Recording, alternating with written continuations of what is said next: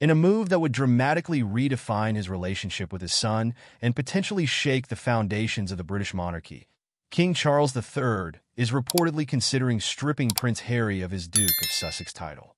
This potential decision stems from a series of deeply personal and public conflicts that have tarnished the relationship between Charles and Harry and placed Harry's future as a member of the royal family in a precarious position.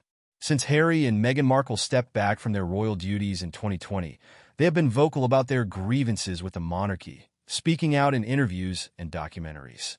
Among the most controversial moments, Harry and Meghan accused the royal family of turning a blind eye to issues of racism, mental health neglect, and an unyielding dedication to tradition over humanity.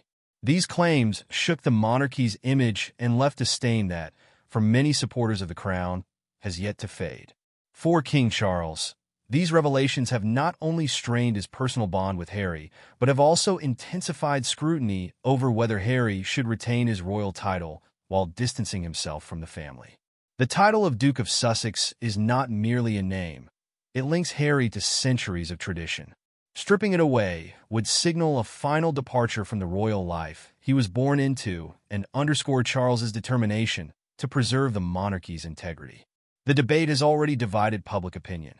Some argue Harry has relinquished his right to the title through his actions and accusations, while others believe stripping him of it would be vindictive and publicly humiliating. The process, however, is neither simple nor solely the king's prerogative. Removing a title like Duke of Sussex requires legislative action by Parliament, introducing a political dimension to what, at its core, remains a deeply personal issue. Involving Parliament could bring heightened attention and unwanted scrutiny, thrusting the royal family back into the public arena for what would undoubtedly be a polarizing debate.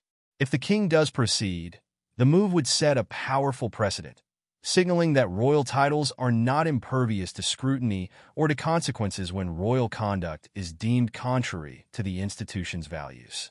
However, critics argue that removing the title may alienate the public further by highlighting the monarchy's internal dysfunction. The potential title removal underscores the complex relationship between Harry and his royal heritage. Despite his efforts to break away, his Duke of Sussex title and the royal identity it represents remain integral to his public image, especially in the United States. Without this formal link to the monarchy, Harry's status and influence would shift considerably. This consideration has fueled debate on whether the title is ultimately a privilege or a burden, especially as Harry and Meghan continue to balance their public identities between royal affiliation and celebrity independence. Meanwhile, media coverage has only served to inflame this conflict further, framing the title debate as a symbol of the monarchy's attempt to balance public image, tradition, and the consequences of internal discord spilling into the public eye. To many, the struggle between King Charles and Harry embodies a larger, ongoing tension within British society, a tension between reverence for tradition and a desire for modern, value-driven authenticity. Supporters of the title's removal argue that preserving the royal family's dignity and protocol demands that Harry's title be stripped, reflecting an institution that upholds respect and discipline above personal discord. On the other hand, sympathizers with Harry suggest the Duke's actions reflect the need for change and openness within an institution historically averse to acknowledging its flaws. For King Charles, the potential decision marks one of his most pivotal challenges as monarch. By considering the unprecedented removal of a title from his son, he risks deepening a rift that may never heal. Public opinion remains as divided as ever, and the stakes have never been higher, with one half of the public urging the monarchy to hold Harry accountable and the other half warning against the irrevocable damage such a move might cause to family ties and the monarchy's legacy.